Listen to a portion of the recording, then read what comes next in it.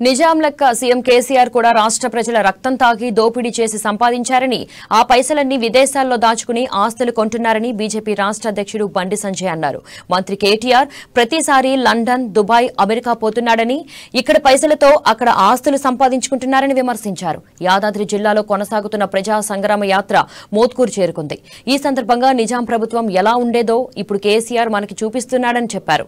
ప్రశ్నించే గొంతుకలను అణిచివేస్తూ బీజేపీ కార్యకర్తలపై రీఛార్జ్ చేయిస్తున్నాడని మండిపడ్డారు. నువ్వు యాభై వేలు ఇచ్చిన నువ్వు కాంగ్రెస్ పార్టీ కమ్యూనిస్టులు అందరు కలిసి వచ్చినా కూడా భారతీయ జనతా పార్టీని ఇంచు కూడా కదిలించిన విషయాన్ని ఒక్కసారి రాదు నీ జనతా పార్టీ కేసీఆర్ గింత పార్టీ నీది. ఒకరు మాడతాడు ఎన్నికల తర్వాత ఒకటి మాడతాడు మళ్ళా ఎన్నికలు రాగానే పైసలు ఇచ్చి ఓట్లు వేసుకుంటాడు మునుగోలో ముప్పై వేలు కేసీఆర్. నువ్వు యాభై వేలు ఇచ్చిన నువ్వు కాంగ్రెస్ పార్టీ కమ్యూనిస్టులు అందరు కలిసి వచ్చినా కూడా భారతీయ జనతా పార్టీని ఇంచు కూడా కదిలించిన విషయాన్ని ఒక్కసారి రాదు నీ జనతా పార్టీ కేసీఆర్ గింత పార్టీనేది ఒక ఒకరు